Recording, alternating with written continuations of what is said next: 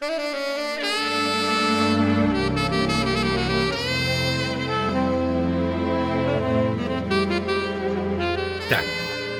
con lo que tengo.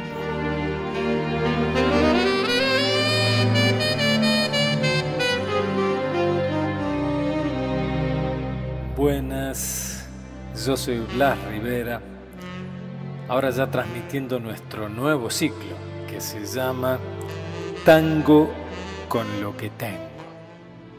Sigo transmitiendo desde aquí, desde el barrio de Santa Teresa, no Río de Janeiro, o Corcovado. Tango con lo que tengo.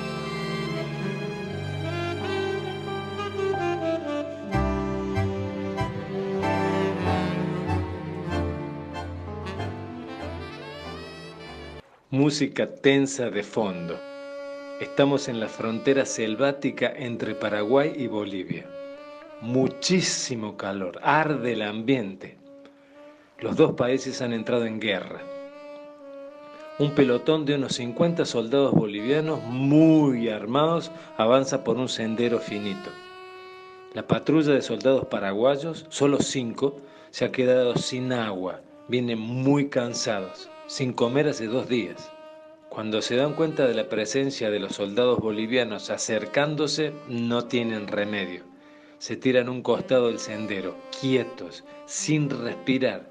Tienen que fingir ser plantas hasta que pase el enemigo. Música muy tensa ahora. Todos sudan mucho. Los cinco soldados paraguayos cuerpo a tierra, agazapados uno al lado de otro.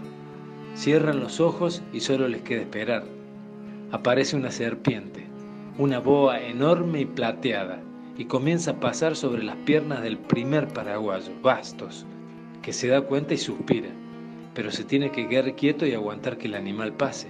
No hay otra, elegir entre morir de bala o de veneno. Los otros cuatro se dan cuenta porque escuchan el suspiro de Bastos. Imaginen la tensión de la música a esta altura. La víbora comienza a deslizarse sobre las botas del segundo paraguayo, López, que esboza una sonrisa de pánico. El pelotón de soldados bolivianos se detiene a beber agua. Uy, uy, uy, uy, uy.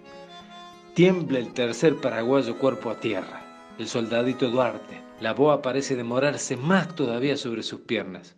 Paró la música. Ya va una eternidad de seis minutos. Los bolivianos retoman su camino y se alejan mientras la serpiente termina de pasar por el quinto paraguayo, Ballesteros, y también se pierde en la selva. Los sobrevivientes de las balas y el veneno se miran, no lo pueden creer. López se ríe, se olvidaron del hambre, de la sed, de la guerra. Bastos mira al cielo y se persigna. Pero ya no son cinco, el soldado del medio no aguantó. El soldadito Duarte, de 17 años, tuvo un infarto. Pensaba en su hermanito mientras la serpiente pasaba por él. La música retoma de nuevo. Esta vez ya no es tensa, solo un canto muy triste de mujer. Esta historia se la contó don Rafael Duarte a mi papá.